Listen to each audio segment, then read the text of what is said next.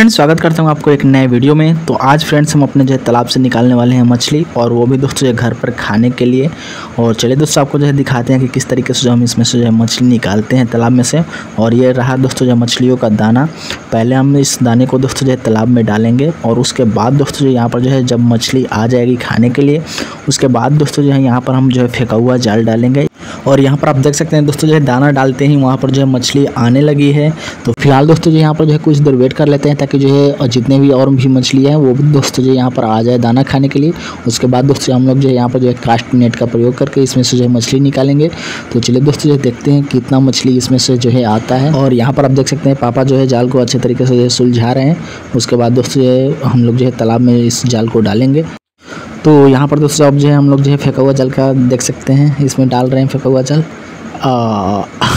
पूरा नहीं खुला बट देखते हैं दोस्तों जो है, इसमें जो है कितना मछली आती है, क्योंकि यहीं पर दोस्तों जो हम लोग जो है दाना डाले थे अभी फ़िलहाल में। तो कुछ तो मछली आना चाहिए यहाँ पर। तो देखते हैं दोस्तों जो है कितना मछली इसमें से जो है अभी फ़िलहाल आता है। तो धीरे धीरे हम दोस्तों जो है, जाल को जो है खींच रहे हैं। और ये एक दोस्तों फेंका हुआ जाल है, यानी कि आप ऊपर से ही फेंक कर इसमें से जो है मछली निकाल सकते हैं। अगर आपको जो है अच्छे तरीके से फेंकने आएगा तो और भी ज़्यादा मछली आ जाती है।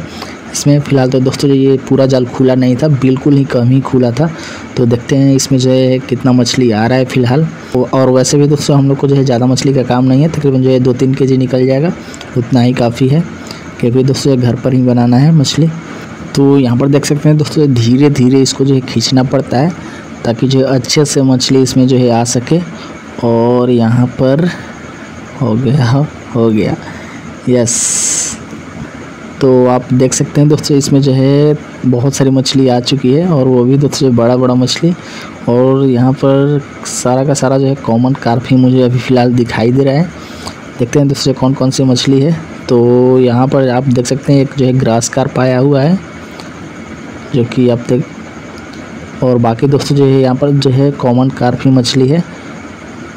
और यहाँ पर दो तीन ग्रास कार्प आया है दोस्तों इसमें, और बाकी जो है कॉमन कार्पी हैं, और इसमें जो है छोटा छोटा बच्चा भी आ चुका है मछली का तो उसको फ़िलहाल हम लोग जो है पानी में ही डाल दे रहे हैं अगले साल के लिए। और इस साल दोस्तों जो बच्चा डाले थे हम तालाब में, आप देख सकते हैं उसका साइज़ जो है इस साइज़ का हुआ है, और जो कि हम जो है जीरा साइज़ इसमें जो है सीड डाले थे, तकरीबन जो है एक महीना पहले, उसका साइज़ आप देख सकते हैं इतना बड़ा हो चुका है। यानी कि इस दोस्तों जाल में भी आ चुका है वो मछली, आप देख सकते हैं मेरे हाथ में है।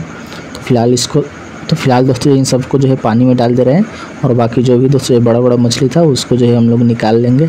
तकरीबन जो है मुझे जितना ज़रूरत मछली था, उतना दोस्तों जो आ चुका है मछली। तो फ़िलहाल इसको जो है निकालते हैं। तो वैसे दोस्तों हम लोग को जो है घर पर बनाना रहता है तो हम लोग दोस्तों इसी नेट का जो है प्रयोग करते हैं। यानी कि दोस्तों जो फेंका हुआ जाल का ही प्रयोग करते हैं और आसानी से जो मछली निकल जाती है। और एक डूब और एक दो वीडियो में दोस्तों आप देखे होंगे कि इससे जो है मछली नहीं आ पाता था पहले। तो उस समय दोस्तों मेरे जो है तालाब पर दाना ख़त्म हुआ था, जिसके कारण दोस्तों हम लोग जो है दाना नहीं उसमें जो है डालते थे तो उस समय नहीं आ पाता था मछली। तो अभी फ़िलहाल दोस्तों दाना डालने के बाद इसमें आप देख सकते हैं कितना सारा जो है मछली आ गया। और जो कि दोस्तों बिल्कुल ही जाल नहीं खुला था। अगर यही दोस्तों पूरा फेंकने के बाद खुल जाता तो और भी ज़्यादा मछली आ जाता, तकरीबन जो है पाँच दस के जी मछली आ जाता। चलिए फ्रेंड्स, इसको जो है लेकर चलते हैं आप घर पर। और मिलते हैं आपको नेक्स्ट वीडियो में, तब तक के लिए बाय बाय।